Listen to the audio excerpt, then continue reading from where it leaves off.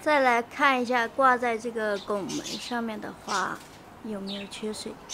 这上面的花是最容易让我给遗忘的。哇，哇，这个花盆已经很轻了，啊，赶紧给它浇水，因为它挂的这么高，老是把它给忘记了。这一盆千叶吊兰干成这样了，但是它的这个枝条还不错，还蛮绿的，就是有些老叶子发黄了。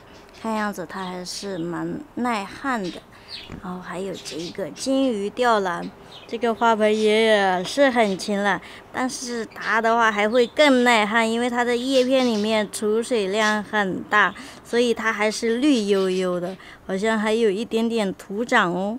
金鱼吊兰是很容易土长的，最好要控制它的这个株型。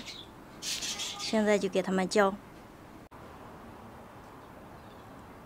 夏天浇水的话，最好是早上和傍晚浇，因为这个时候这个温度还不是很热，那么这个水温和土温是比较接近的。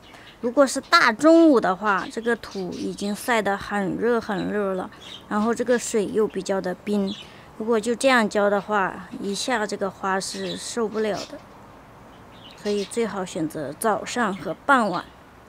水温和土温接近的时候。